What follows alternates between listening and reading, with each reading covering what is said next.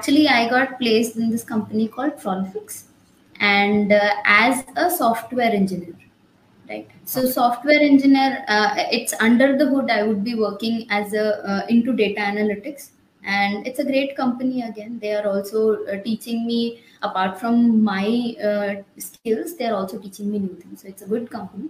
And about the about my journey of placement, yes, I have given few interviews and uh, obviously uh, everyone fails uh, one i mean uh, i i also failed a few times but then uh, it has been good because i got a lot of experience in, in giving interviews in a lot of companies.